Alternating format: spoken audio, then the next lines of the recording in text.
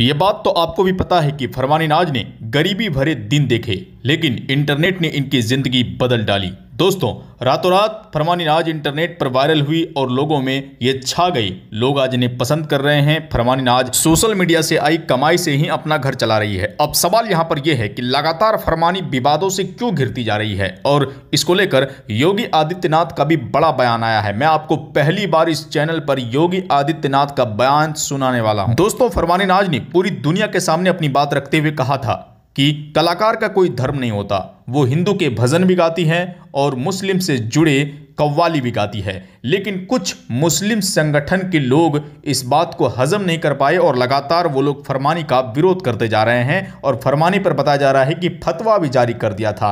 और कुछ दिन पहले फरमानी ने सीएम योगी आदित्यनाथ से जुड़े भी गाने गाए थे, जिसको लेकर काफ़ी ज़्यादा चर्चा थी और कुछ कुछ कट्टरपंथियों ने इसका विरोध भी किया। लेकिन बहुत सारे मुसलमान इनका समर्थन भी कर रहे हैं। इनके गाने में किस तरीके से ये कहती दिख रही है कि आएँगे तो योगी ही और एक बार फिर से हर हर शंभू गाना गाकर ये पूरी तरीके से विवादों में फंस चुकी है। दोस्तों, फरवानी नाच का बीजेपी के कई नेताओं ने समर्थन किया है और उन्होंने भी कहा है कि कलाकार का कोई धर्म नहीं होता और इसको लेकर वाकई में वो लोग एक्शन भी लेने वाले हैं। और बताया तो यहाँ तक जा रहा है कि सीएम योगी आदित्यनाथ ने भी फरवानी की आवाज़ की तारीफ़ की है। इस वीडियो को ज़्यादा से ज़्यादा शेयर कीजिए। वीडियो को लाइक कीजिए। आगे के अपडेट के लिए चैनल को जल्दी से सब्सक्राइब कीजिए। नमस्कार।